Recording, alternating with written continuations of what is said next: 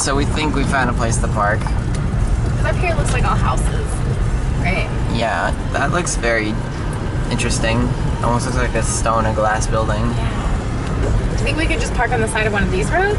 I think we should go down a little bit farther just to see if there's a more discreet place or if this leads somewhere. Okay. Well, I don't know. What are the odds that someone's home right now? We're not gonna park in the driveway. Yeah. Well, I mean, like, to like someone would be coming out. Yeah.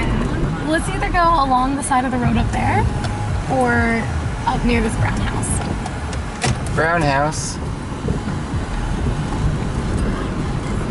Oh, there's a little path down there. Wonder where that leads to. Oh, you get off the window. You think? This all just Whatever looks like.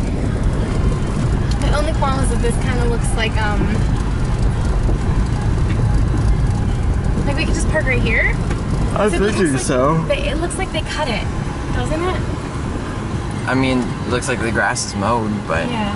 So do you think it's the problem? I don't think so. All right. I don't know. We might be resolute about this one. What?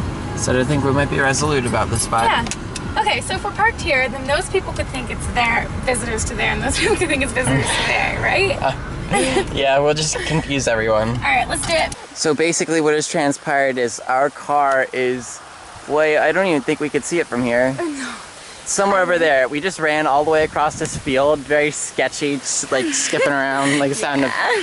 You see, like the sound of music when she's running up the hills.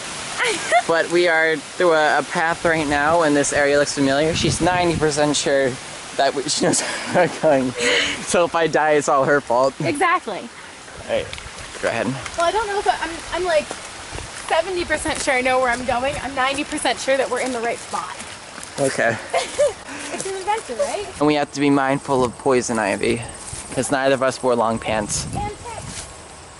And ticks. All right, well, we'll tick check afterwards.